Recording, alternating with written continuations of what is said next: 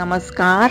कुसुम cooking lab में आपका स्वागत है। आज हम बनाएँगे लौकी टमाटर की सब्ज़ी, जो खाने में बहुत स्वादिष्ट लगती है। आप मेरे इस तरीके से लौकी टमाटर की सब्ज़ी को बनाएँगे तो बार बार बनाएँगे, यह खाने में बहुत स्वादिष्ट लगती है। तो आइए बनाना शुरू करते हैं। मैंने यहाँ पर 400 ग्राम लौकी ली है। मैंने लौकी को छील लिया है। लौकी को मैंने छोटे छोटे टुकड़ों में कट कर लिया है। लौकी को हमें एक ही साइज़ में काटना है। इस तरह मैंने सारी लौकी को काट के तैयार कर लिया है। लौकी को एक ही साइज़ में काटिएगा, नहीं तो लौकी ठीक से पक नहीं पाएगी।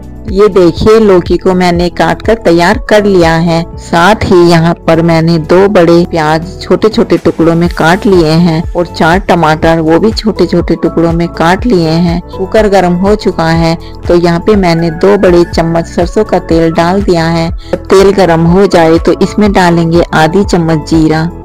एक तेज पत्ता एक बड़ी इलायची, दो छोटी इलायची, दो साबुत लाल मिर्ची और एक चम्मच कटा हुआ लहसुन इन सबको अच्छे से भूनेंगे।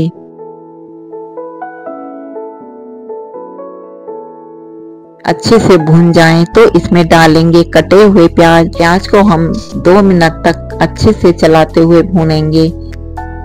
हम इसमें डालेंगे कटे हुए टमाटर। तो टमाटर भी हमने डाल दिए हैं। अब हम टमाटर और प्याज को अच्छे से भूनेंगे।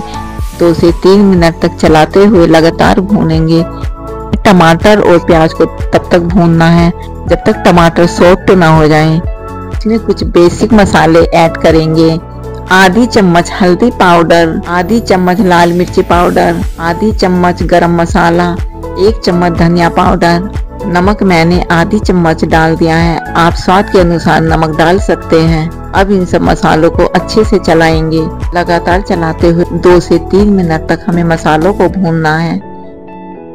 मैंने यहाँ पर एक चौथाई कप पानी डाल दिया है और मसालों को अच्छे से चला दिया है। पानी डालने से मसाले अच्छे से पक जाएँगे। मसाले पक चुके हैं तो अब हम इसमें डालेंगे कटी हुई लौकी। लौकी को डालकर हम दो मिनट के लिए अच्छे से चलाएँगे।